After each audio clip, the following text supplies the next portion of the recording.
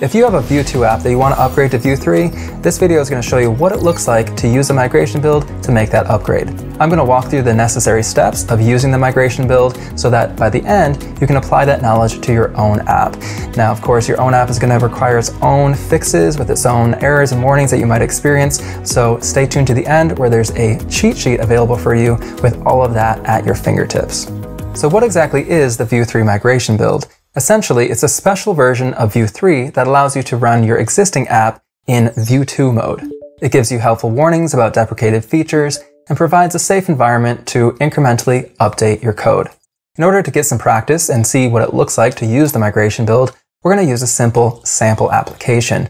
You can access the repo by cloning this link here, and we have a starting and ending branch so that you can see where we started in the Vue 2 version and how we made those changes to upgrade it into Vue 3 with the help of the migration build.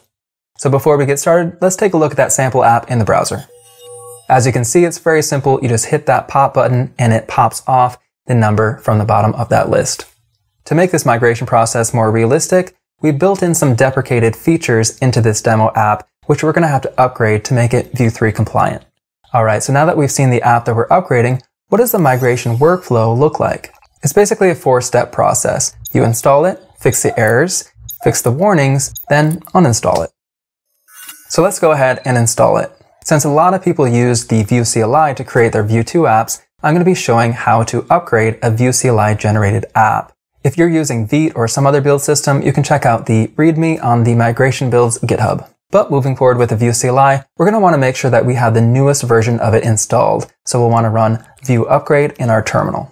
Next, we'll modify package.json to install Vue 3, the migration build itself, and the compiler for single file components. Notice how we also have to remove Vue 2 and the Vue template compiler. Next, we can install the dependencies, and there's one more step to get the migration build working. We have to create a vue.config file to set up some compiler options. You can find this config file in the ending branch of our demo code. And also, I want to let you know we have a full blog series about this migration build. So any of this content, any of this code, you can find at vuemastery.com slash blog. With that out of the way, we can now serve our app, but you'll see we're met with an error. This is actually a good sign. It's proving that the migration build is doing its job and letting us know that there is something wrong with our code, something deprecated. This brings us to the next step in our migration build workflow where we fix the errors. The source of this error is from our sample app's heading.vue component. Notice how we're using the functional attribute here. That is no longer supported in Vue 3. To fix that and make this Vue 3 compliant, we're going to delete out the functional attribute and remove the props dot as well. Now the error should be gone. But you might notice that we still have some warnings in the console. One is about global mount, another is about the render function, and another is about the watch array. So let's move on to our third step where we fix those warnings. We can knock out two of those warnings by importing and using create app to initialize our app. Now, if you refresh the app in the browser, you should see one remaining warning. To fix this final issue, we just need to add the deep option here, as instructed by the warning. Now that we've fixed our errors and warnings, we can move on to the final step where we uninstall the migration build from the package.json and delete out the config file. Now we can go ahead and run npm install and serve our newly upgraded Vue 3 app. Of course, the demo app that we just walked through was pretty simple. It just had a handful of errors and warnings and was pretty quick to fix.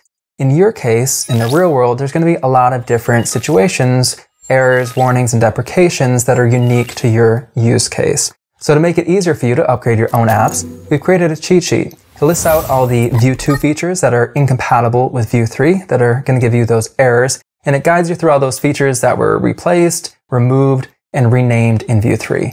You can download the cheat sheet free at vuemastery.com. So with all of that, I hope you feel more confident and prepared to upgrade your Vue 2 apps to Vue 3. Again, feel free to check out Vue Mastery's blog where we have two articles covering the migration build with all of what we just covered and more written out step by step for you to follow. And also check out our courses. We have a bunch of Vue 3 content, including a Vue 3 deep dive taught by the creator of Vue, Evan You. I'll see you in the next one.